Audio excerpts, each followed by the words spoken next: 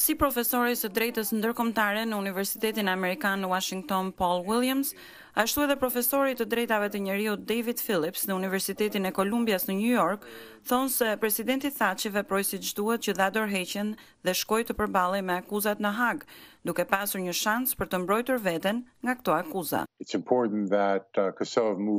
Është e rëndësishme që Kosova ta tejkalojë këtë moment, dhe mënyra më e mirë për ta bërë një gjë të tillë është që Presidenti Thaçi dhe të tjerët të shkojnë të përballen me akuzuesit e tyre dhe të tregojnë anën e tyre të historisë. Por Profesor Phillips shton se nuk duhet harruar se bëhej fjalë për një luftë kundër shtypjes serbe. Këta individë po gjykohen, por pavarësia e Kosovës është e pakthyeshme dhe lufta fisnike e UÇK-së duhet të vlerësohet. Thjesht duhet të dimë se çfarë ka ndodhur gjatë atyre viteve dhe të ecim përpara.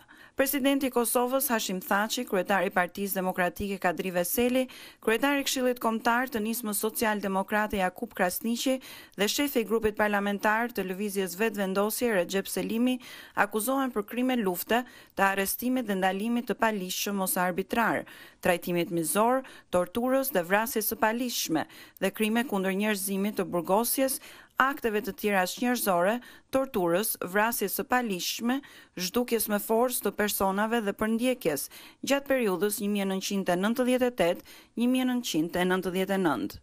Të gjithë këta ish-drejtues të lartë të Ushtrisë Çlirimtare të Kosovës ndodhen tashmë në qendrën e paraburgimit të Gjykatës së Posaçme në Hagë. Profesor Williams thotë se nuk ka dyshim që ata që janë përgjegjës për krime mizore duhet të vihen para përgjegjësisë, por ai shton se nuk duhet të kesh një gjykatë që shikon vetëm njërën anë. But the moment you start creating tribunals. Në momentin që fillon të krijosh gjykata që përqendrohen vetëm tek një palë ose vetëm tek disa krime dhe e bën këtë pasi ka patur një gjykatë për të njëjtin qëllim që kishte funksionuar për dekada, që ishte përqendruar tek të gjitha palët, atëherë fillon të shtrembërosh drejtësinë, të shtrembërosh ndikimin e drejtësisë, kahjen e historisë, katarsisin e viktimave. Kjo sipas profesor Williams shkakton një rrezik tjetër, atë të barazimit moral mes shkaktarëve dhe viktimave në konflikt dhe thotë se i takon komunitetit ndërkombëtar, duke qenë se këmbguli për ngritjen e kësaj gjykate që të thotë se këto gjyqe nuk e ndryshojnë historinë e asaj që ndodhi në Kosovë. I think the international community very clearly acknowledges that. Nëse bashkësia ndërkombëtare e pranon shumë qartë këtë, do të jemi në gjendje të shohim një përparim në normalizimin e marrëdhënieve mes Kosovës dhe Serbisë dhe me bashkësinë ndërkombëtare. Profesor Phillips mendon se vullneti i mirë i ndërkombëtarëve mund të tregohet me hapa konkretë.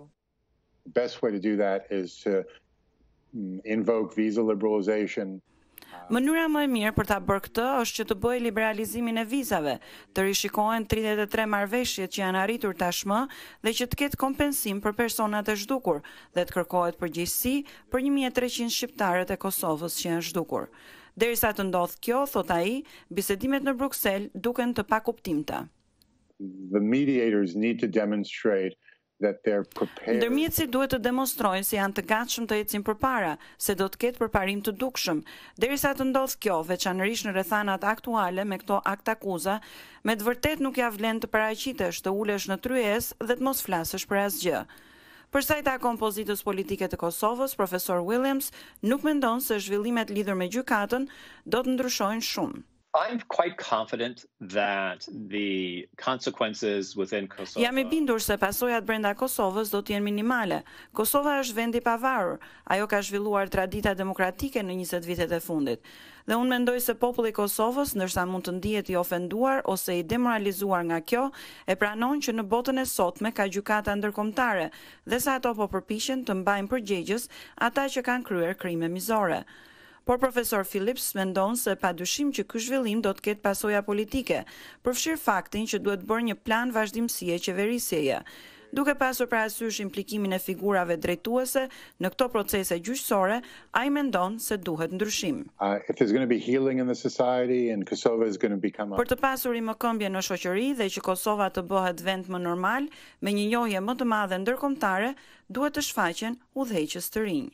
Një gjë është e sigurt sipas dy ekspertëve, dërgimi i zotit Thaçi dhe figurave të tjera në Hagë për t'u përballur me akuzat ka ndryshuar dinamikën si brenda Kosovës, ashtu dhe për sa i takon procesit të dialogut.